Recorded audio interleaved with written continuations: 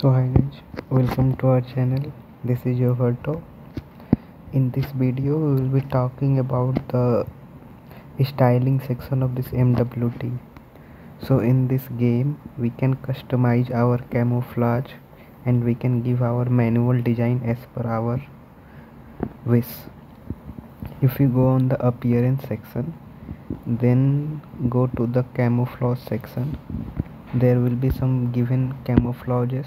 You can use you can use the flags. And there is a one more custom style. You can select the tank of your choice and then click on edit. Then here you can choose the various shape you want. For example i choose this plus sign I can set the position where I want to use it. Uh, I can rotate with this symbol and with this symbol I can enlarge it or change its size. I can change the size like at what size I need. You can change the size with this symbol. You can make it smaller. You can change the positions. And here in the color section you can set the color of that symbol like what color you need.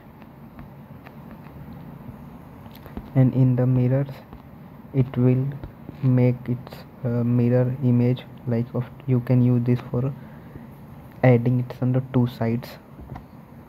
Okay you can delete it from here. There is one more option of decals but it is not has been given yet. The logo section you can till now you can use these three logo as for your need. You can increase the size and I guess we cannot okay we cannot change the colors of logo. We can use this particular logo. We can change the color of some okay. Okay okay okay let me use this logo. Okay yes we can change the colors of logo also so there are these three logos which you can use. And till now there are no pattern yet. Maybe in the future they will giving the pattern. So for now we can use this much of symbols in our tank for giving a custom style. And then you can either quit or save your design. So it will look something like this. And in the customs style for some shapes uh, when clicking on edit they are allowed to use at some specific positions only. You can't use it anywhere. Like we can use here but we can't use this on our tires. So be aware that these custom sections will be not working on the whole of the vehicles. They will be working on the some specific part of the vehicles like uh, majorly on the topmost portion. Yeah. I guess majorly on the topmost portion. As you can see i was trying to color this gun but i was not able to color this gun it is saying red turrets. But i can color this turret not totally but I can give some patterns using different colors. You can see now apply. Again I click on a shape and I can give a different colors this one. Apply.